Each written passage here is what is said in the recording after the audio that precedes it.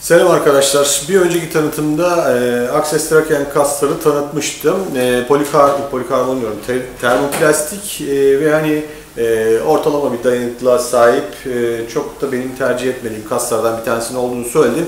Ama gerçekten çok uygun, çok e, ucuz bir fiyat olduğu için tercih edebilecek olanlar olabilir. Benim tercihim değildir. Tekrar belirtiyorum. E, neden tercih ediliyor bunlar? E, şöyle diyeyim, e, satan kaslardan bir tanesi bu arada. E, siyah vizörüyle beraber geliyor. Ayrıca Ece ve DOT sertifikasına sahip. Ece ve DOT sertifikasının e, olduğunu da söyleyeyim, ekleyeyim. Renkleri de bunlar. E, hani bu kask alınır mı diye sorarsanız o tamamen sizin tercihiniz. E, biz satıyoruz e, ama e, hani ben olsam e, bu kaskın bir üstü en azından polikarbon bir yapıya sahip Bell Qualifier alırım. Ama bu kasların da linklerini aşağıda ben paylaşacağım. Yorumlara isterseniz siz yorumlarını yapabilirsiniz. Ne gibi özellikleri var söyleyeyim hemen. Ee, üst tarafında güzel bir e, havalandırma e, butonu var. E, onu rahatlıkla açıp kapatabiliyorsunuz. Hani hızlı giderken de yavaş giderken de onu e, açıp kapatmak için elinizin oturabileceği gibi şöyle e, hafif yuvarlak bir e, kısım yapmışlar üstüne.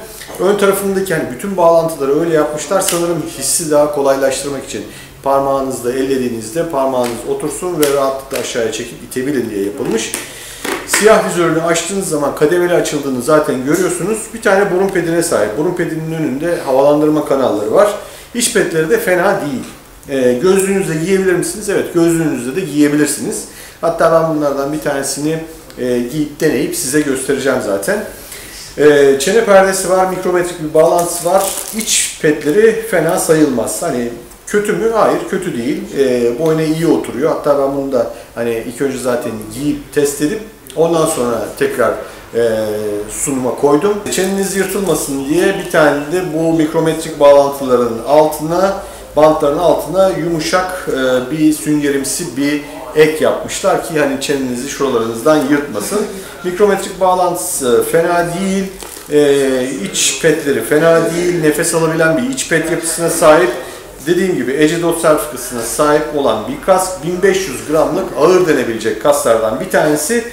Ee, ve hani rüzgarda e, kafanız çok fazla sarsılmasın diye e, şöyle bir spoiler yapmışlar. Altında da bir tane e, plastik bir ek var. E, bu ekle beraber e, bunu e, rüzgarda biraz daha yüksek hızlarda kullanabilirsiniz. Ama yüksek hızlarda sen kullandın mı derseniz ben yüksek hızda kullanmadım. E, çünkü ben biliyorsunuz scooter kullanıyorum. Daha önceden de bunu söylemiştim zaten. Ben Yamaha'nın e, XCT 250'sini kullanıyorum arkadaşlar. E, daha önceden hani birçok motor kullandım. İşte Afrika Twin, Honda Transalp gibi motorlar kullandım. Onlarda o zaman kullandığım e, kask cinsi Kappa'ydı. Çünkü ben onları bayağı eskiden kullandım. Son 15 yıldır e, ben scooter kullanıyorum. Yamaha'nın BVS'sini de kullandım. E, Bergman'ı da kullandım. E, en sonunda Yamaha XT'ye geçtim. Bir sonraki aşamada yani hep şehir içinde kullandığım için çok fazla aşırı uzaklara gitmediğim için ben scooter tercih ediyorum. NMAX 155 belki ona geçmeyi düşünüyorum.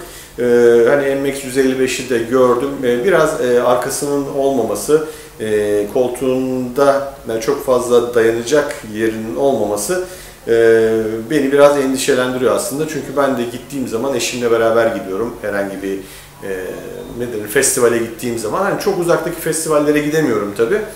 E, yani yakın festivallere gidebiliyorum. E, ama en uzak gittiğim festival e, Kocayayla'ydı sanırım. E, Kocayayla yok.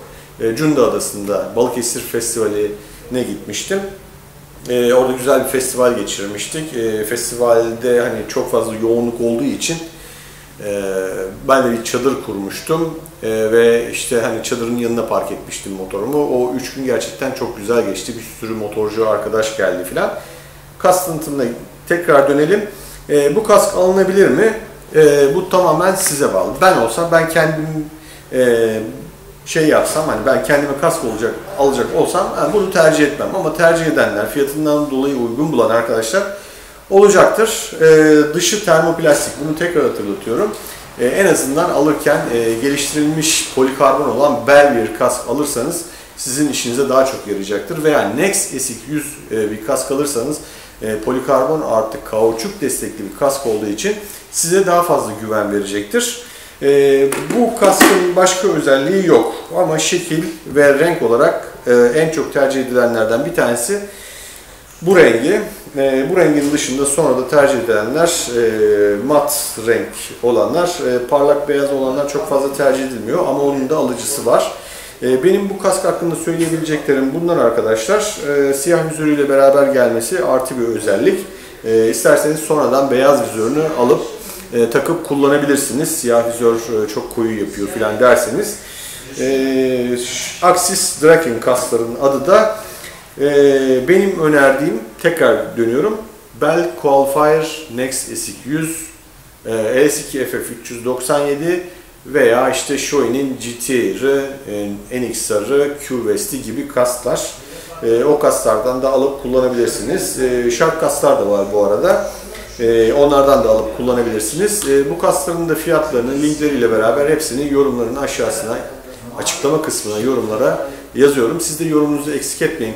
E, bu kasları alan arkadaşlar, özellikle kullanıcıları yorumlarınızı eksik, etme, eksik etmeyin. Nasıl bir kask, e, rüzgar deneyiminde nasıldı, e, işte iç petleri nasıl, çabuk dağılıyor mu diye e, yorumlarda detay verirseniz çok seviniriz. Hepinize iyi sürüşler.